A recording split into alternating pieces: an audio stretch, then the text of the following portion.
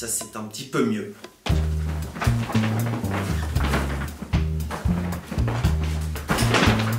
Ça me semble presque parfait. Maintenant, je pense qu'il nous faut un micro.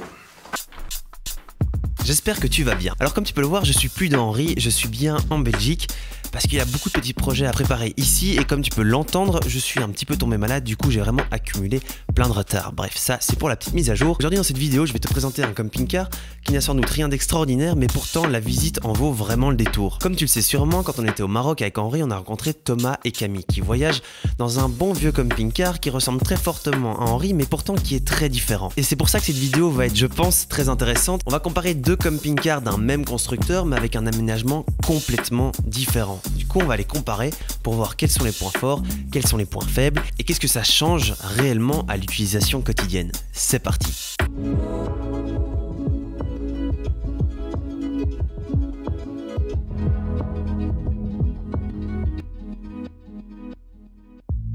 On va commencer par un petit tour extérieur pour ensuite continuer sur l'aménagement intérieur et on va terminer par une comparaison entre Henri et ce camping-car qui s'appelle Léon. Alors déjà on a, on a choisi un Hummer de 1988 qui est monté sur un Peugeot J5. Est-ce que tu sais combien il y a de chevaux? Non, je sais qu'il y a 10 chevaux fiscaux. On essaye de se renseigner, savoir combien il y avait de chevaux, mais le calcul est trop difficile à faire. Et du coup vous l'avez acheté combien? On l'a acheté 6000 euros. 6000 euros. Ce qui est une sacrée bonne affaire. Ouais, je pense que c'est une bonne affaire. Et vous l'avez acheté en direct? Ouais, on, l'a acheté sur un site euh, style le on l'a acheté sur le bon coin, voilà, on a trouvé le contact, tout ça, on est allé, on est allé, on s'est déplacé. C'était pas dans notre euh, ville et on s'est un petit peu éloigné pour aller le récupérer. On l'a payé 6000 euros. Après, on a fait, après il y en a eu ben, un gros problème avec, donc on peut dire qu'il a coûté quand même au final 7000 euros. Boîte de vitesse, c'est ça La boîte de vitesse qui a cassé, en fait le premier jour du départ, ce qui a fait un faux départ à 20 km, de la, à 20 km de la maison. Et euh, du coup on a dû changer la boîte de vitesse, on s'est aperçu que l'embrayage avait un problème. Ce qui fait que du coup on a changé boîte de vitesse plus embrayage et ça nous a coûté 1000 euros euh, tout compris. On l'a acheté à 134 000, là il a 137 000 km. Ce qui est intéressant dans cette vidéo c'est que c'est vraiment le, presque le même modèle qu'Henri, c'est un 536, 534 534 ouais. C'est un 534 donc a priori c'est 20 cm de moins qu'Henri mais c'est un aménagement complètement différent donc c'est ça qui va être intéressant de regarder. Et là on va faire un petit tour extérieur pour voir un peu ce que vous avez changé parce qu'au final vous n'avez pas changé grand chose. Vous avez juste euh, installé les panneaux solaires, la batterie euh, et, vous l'avez gardé un peu euh, à l'origine. Le porte-vélo. Voilà. Euh, ah donc ça c'est vous qui l'avez installé le porte-vélo. Ce petit porte-vélo, voilà, première gamme. Première gamme et très efficace. Spécificité que tu m'as expliqué, c'est que tu as des problèmes d'infiltration d'eau. Ouais. à l'arrière et donc du coup tu as installé ces petites rigoles qui sont pas mal, c'est toi qui l'as fait si je ça. pas Ouais j'ai commandé ça dans une usine, je les ai fait faire sur mesure en gros pour euh, mhm. pouvoir mettre ça et ça évite que l'eau coule trop en fait là et que ça arrive et que l'eau stagne ici dans les rigoles quoi. Parce que si l'eau stagne ici, elle rentre à l'intérieur. Ouais. Il y a un espèce de il y a un espèce de faux plat, ce qui fait que normalement c'est censé s'évacuer par ces trous. Mhm. au final ça s'évacue pas, ça stagne à l'intérieur et quand ça déborde, bah, ça va de l'autre côté. Alors moi, si tu as bien regardé la vidéo de présentation d'Henri de Bus, j'ai 100 litres d'eau claire et eux c'est franchement pas mal, c'est que tu as normalement deux cuves, du coup tu as combien de litres en tout? En tout, ouais. Ça on a 200 litres, c'est l'ancien propriétaire qui a fait rajouter une cuve, donc on perd un petit peu de place dans une banquette, mais après on a 100 litres supplémentaires, c'est pas mal pour avoir euh, un peu plus d'autonomie. 200 litres, c'est vachement pratique, je pense, quand tu es vraiment à plusieurs dans le van. Comme ça, tu peux vraiment prendre pas mal de douches, mais tu perds quand même l'espace d'une banquette. Donc à voir, ça dépend un peu de, chacun. Ouais, tu, me diras euh, pour la suite.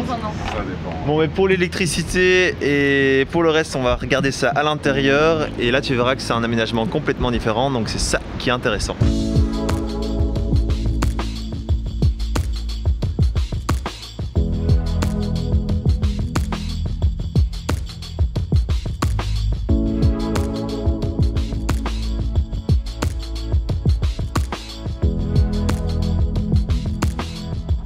Je vais faire le tour vite fait de l'aménagement intérieur. Donc ce qui est marrant ici, c'est qu'il y a le poste de pilotage, le lit qui descend comme d'habitude euh, sur euh, tous les Himmers. Alors ce qui la grosse différence ici, c'est que tu as la douche, la toilette juste ici et euh, l'arrière qui est tout en U. Et raconte-moi un petit peu au niveau de l'électrique ce que tu as fait parce que ton panneau solaire est vachement bien installé et bien stylé. Merci parce que c'est moi qui l'ai fait. En plus. Je suis ravi. Alors, on a installé un panneau solaire de 300 watts. Donc on a préféré en prendre qu'un plutôt que plusieurs pour des raisons de branchement et surtout de place sur le toit avec les lanterneaux et tout ça, c'était un peu compliqué. Du coup on en a choisi un gros de 300 watts avec deux batteries qui sont ici là de 60 ampères. Bon, je suis pas excessivement fier de l'installation, ça fait un peu sauvage, mais ça tient bien. On a fait un cadre en alu euh, là au Maroc ici, donc ça bouge pas. Même s'il y a un accident, il y a un truc, ça va pas bouger. Ça fait un Mhm. peu euh, branchement sauvage, mais ça fonctionne très bien. Ça fait le, ça fait le taf. Et vous avez déjà été souvent à court d'électricité? Non, bah pour l'instant non, parce qu'on a commencé par le Maroc, du coup le voyage, donc euh, du coup il y a tout le temps du soleil, donc on Ouais. en a à profusion, on tire jamais sur les batteries, Ouais. on prend directement le soleil en direct. Donc, euh, C'est vrai que tu m'as dit que tu étais arrivé au Maroc. Est-ce que tu as déjà fait des modifications au Maroc à part ce petit cadre de batterie? Le cylindre bloc euh, de la boîte de vitesse, qu'on a d'ailleurs trouvé neuf dans la boîte d'emballage, c'est à noter Incroyable. quand même, parce que Ouais. sachant que le véhicule a 30 ans, donc Ouais. euh, voilà. à un prix très raisonnable. Ça, on a changé la courroie d'alternateur et une autre courroie. Je pêche un petit peu en mécanique, je l'avoue. Mais ça doit être de distribution d'eau ou quelque chose comme ça. Du coup, ce qui est intéressant, c'est que t'es parti en road trip avec un véhicule alors qu'il n'y en a aucun de vous deux qui, qui touche en, en En mécanique. mécanique, pas du tout. En on fait, apprend au fur et à ben- mesure du voyage, au fur et à mesure des pannes, euh, avec YouTube, enfin comme, euh, comme tout le monde quoi. Franchement, c'est. Ça, et, et limite, heureusement qu'il nous est arrivé presque le- la boîte de vitesse qui a lâché, parce que Ouais. du coup, on a démonté la boîte de vitesse, l'embrayage et tout ça. Et moi, j'étais avec le mécano qui l'a fait. Donc, Mhm. du coup, ce qui fait que du coup, j'ai pu comprendre un petit peu plus comment ça tournait déjà un moteur. Donc, on va dire que j'ai avancé déjà en un mois, ce qui est déjà pas Ouais. mal. Voilà. Après, Et en termes, de, en termes de vitesse de croisière et de consommation Alors, on est à du 10 litres au 100. Je pense dans la théorie, moi je pense plus en un mois, bon on n'a pas assez de recul, je pense on a 12, plus 12-13 litres au 100. je pense, avec euh, chargé, tout ça, ouais, je pense que c'est plus 13 litres. La vitesse de croisière, c'est plus 80 km/h, et Ouais. vu qu'on prend jamais les autoroutes et tout, ça suffit largement sur les nationales et tout Ouais. ça, il n'y a pas. Et dans l'intérieur, dans l'aménagement intérieur, qu'est-ce que vous avez changé On a fait le parquet parce que c'était Enfin, ça avant, c'était la moquette semi-parquet, on peut pas appeler ça un Ouais. Oui, c'est pas, c'est pas du Avant, vous aviez de la hein, bonne, euh, C'était de la bonne vieille moquette, quoi, hein, Ouais. qu'on a gardé quand même ici parce que c'était trop compliqué.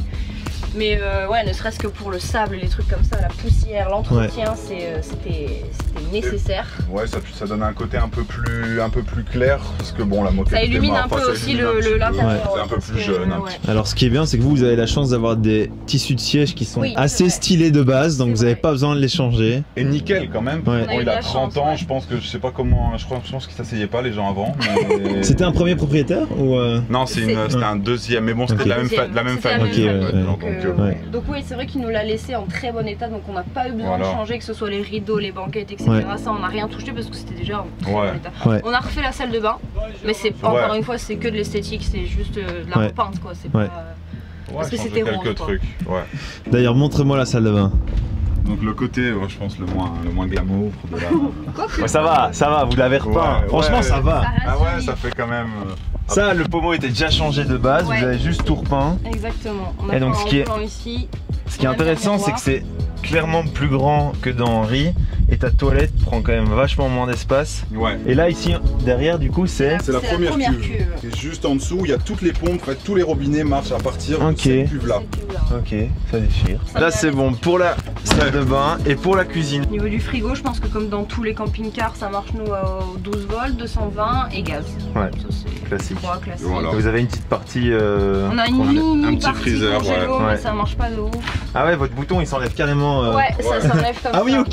Tu vois Ah ouais. Vraiment tout petit, je pense. que Beaucoup ça trop fait- de bière dans Ah oui, cas. c'est c'est un, c'est vraiment un baby. C'est un euh, Ouais. baby. Il est euh, trop ouais. petit même d'ailleurs parce qu'il rentre même pas une bouteille d'eau, ou il rentre Ouais. pas. Ça, c'est un peu compliqué. Tu peux, après. il rentre même mets- pas une bière, voilà. Ouais, c'est- Ah c'est marrant ça parce Ouais. qu'on a, on a vraiment pas le même frigo. Donc ça c'est ça c'est rigolo, ça je savais pas. Ici au niveau de l'aménagement vous avez installé ça. Ah oui. Ouais, un espèce de grand porte-épices, porte euh, je- tout ce que tout ce que tu C'est un peu. À la base, c'était un rangement pour mettre les épices, mais c'est vrai que le bas devient un peu rangement pour les câbles, Ouais. pour les produits, les machins. Et on a mis le même dans le placard du dressing au bout. Ouais. Ah oui, donc vous avez mis le ça On a mis un derrière. en bout en fait. Ah, ça Ouais. déchire ça. Pour, Comme ça, on peut Il y a mettre des des, piles, des, des euh, piles, je des sais pas, les balles de points, ping-pong, euh, des conneries comme ça. Des Quoi. Ouais. choses qui n'ont pas encore trouvé leur place dans, dans Léon, quoi, clairement. Et ça aussi, vous avez, euh, vous avez installé. Ouais. Ça, c'est vraiment le truc tout bête, mais qui fait. euh. Ouais, c'est basique, mais c'est pas mal, ouais, rien que pour euh, la vaisselle, pour les. Bon, Ouais. voilà quoi. Et du coup, il est un peu plus vieux qu'Henri, mais t'as les mêmes équipements, si je me trompe pas, au niveau du chauffage, ventilation, Ouais, etc. je pense toi t'es en chauffage, il a une année au-dessus. Je crois que toi Ouais. c'est un 3002. Ouais. Moi je pense que c'est un 2002, je crois. 3002S. Toi, c'est un 3000. Ah non, c'est un 3002. Non, je t'ai dit, une- Ah ouais. je t'ai dit une bêtise. Alors ok, non. Donc c'est un 3002, c'est un, chaud- bah, c'est un chauffage qui marche au gaz. Tout Et t'as la ventilation du coup Et il y a Ouais. une ventilation là qui se règle sur le côté. Et niveau boiler, genre, t'arrives à prendre combien de douches euh, avec. Bah, J'avoue qu'on n'a pas pris énormément de douches chaudes pour l'instant. Ouais. Donc, euh, comme on est au Maroc, on évite aussi de, de faire Ouais. chose, Et parce que surtout sinon, euh, que le truc il a une contenance de 10 litres en fait. À chaque fois qu'on fait chauffer de l'eau, on est obligé d'en faire chauffer 10 litres. Mm. Alors sachant Ouais. que pour une douche, euh, je pense enfin, 3-4 litres c'est suffisant. Ouais. Donc euh, bon voilà, Ouais. c'est et puis ah, ça met un peu de temps à chauffer. Après ça dépend. Des fois soit la douche froide, soit sinon des fois moi ça m'arrive à la bas- à la bassine comme à l'hôpital quoi. Ouais. Et non, ouais, c'est pas mal. Ça fait le taf hein. C'est efficace. Alors on va passer au truc le plus intéressant je trouve de, ce camping-car parce que moi je voulais avoir le même aménagement que le vôtre au début puis je dois avouer que j'ai pas trouvé d'annonce etc. Tu l'as clairement vu c'est un aménagement en U. Le fait d'avoir la douche L'armoire ici ça coupe un peu le camping-car en deux parties et donc tout est un peu concentré sur l'arrière. Je voulais voir avec vous genre qu'est-ce que vous en pensez de cet aménagement au niveau de l'impression d'espace et euh, à combien vous pouvez vous mettre euh, posé autour de la table quoi. Alors. euh, Posé, je pense qu'on doit pouvoir se mettre à 1, 2, 3, 4, 5, 6, 7 avec une On peut chaise. mettre une chaise ici, mais ça serait vraiment le Après, max. on est serait serré, pas c'est pas pour confortable manger quoi. un, un grand banquet, quoi. C'est Mhm. vraiment pour dire de se réunir Ça peut être sympa pour une soirée, pour une partie de cartes, pour faire des jeux. Je pense que, ayant visité le tien, euh, le tien est plus approprié pour un groupe de personnes, Ouais. alors que le nôtre pour un couple comme ça, je pense que c'est parfait. C'est Voilà. plus tranquille quoi. Voilà, ouais. c'est plus tranquille, c'est idéal. Après, Ouais. si on était plus nombreux, la disposition. euh, On- Ouais, ça fait qu'on n'a pas beaucoup d'espace euh, chacun quand même au final. Ouais. Nous, nous, on est que deux donc on se marche pas vraiment dessus, mais, Ouais. euh, mais c'est vrai que si, si on était plusieurs, ça, ça serait un peu pénible. Ouais. ouais. Parce qu'on est du coup, comme tu dis, on est concentré ici. Mais Ouais. du coup, euh, Ouais, si t'as quelqu'un qui est juste là derrière, Euh, forcément il y a Oui, voilà, se lever, quoi. Déjà rien que ça, c'est bête, mais. Mais au niveau du lit, du coup, tu baisses la table ouais, et t'as. il suffit juste de baisser la table. Ouais, Après, voilà. on prend les coussins Il y a un système, on baisse là, voilà. Et ça nous fait un, un, un Il y bon a un lit. grand lit en plus Ouais. bon, qu'on n'a jamais uti- on- qu'on n'utilise jamais, mais Mhm. s'il y a des invités, euh, voilà. En vrai, vous êtes vraiment bien. Là, là, je vous vois tous les deux. Là, on est bien. Genre, Ouais, c'est quand même, c'est quand même vachement plus cosy. Franchement, sur ça, on est, on est Ouais, vraiment très très confort. Tu l'auras compris, un aménagement en U, c'est quand même un petit peu plus cosy. Maintenant, au niveau de l'impression de grandeur et de la facilité de déplacement, Henri garde le devant. Donc sincèrement, je pense que ça dépend, comme d'habitude, vraiment de tes besoins. Maintenant, il faut pas oublier que dans un aménagement en U, tu as seulement deux gros couchages, alors que dans Henri, tu as cinq couchages. Bon, maintenant, tu vas me dire que c'est très rare d'accueillir cinq personnes dans un camping-car, mais quand même, parfois, ça peut servir. Tu peux suivre les aventures de Camille et Thomas sur Instagram sous le nom de Léon le Daron. Ils partagent des photos incroyables et je t'invite vraiment à aller y faire un tour, ça en vaut la peine. Et sur ce, je te dis à très vite sur cette chaîne YouTube. N'oublie pas de liker cette vidéo si tu l'as appréciée, de la partager et surtout abonne-toi et active les notifications et on se voit la semaine prochaine. A plus dans le bus, ciao